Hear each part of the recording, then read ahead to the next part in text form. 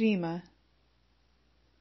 Per il mio trentesimo compleanno, il mio ragazzo e la mia famiglia sono venuti a trovarmi a Firenze.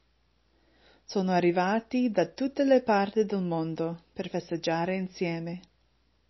Il giorno prima del mio compleanno, all'albo sul Ponte Vecchio, il mio ragazzo mi ha chiesto di sposarlo ed è stato il giorno più bello e romantico della mia vita.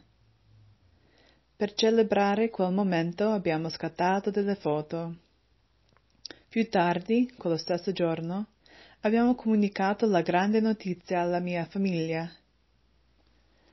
Tutti si sono congratulati con noi, hanno pianto, cantato, ballato e si sono abbracciati.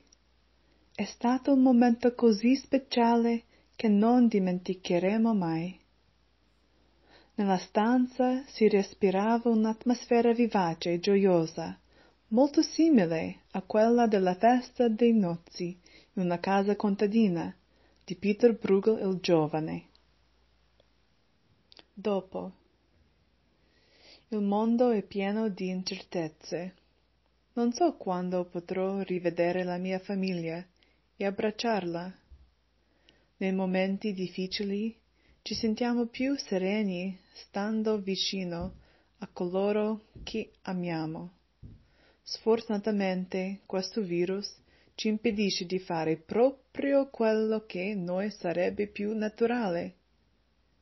Il dipinto di Bruegel, realizzato nel 1564, raffigura persone comuni che si divertono a una festa di matrimonio.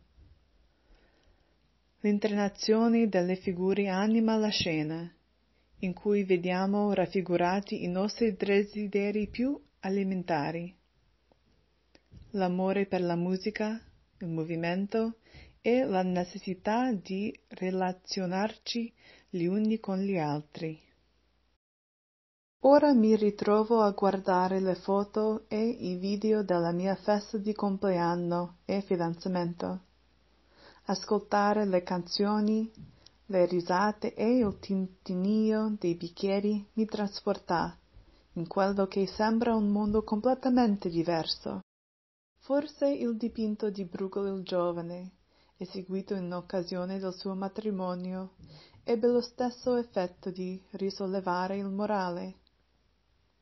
Che si tratti di un dipinto, una fotografia una poesia, L'arte ci porta in un altro mondo quando abbiamo bisogno di una via di fuga.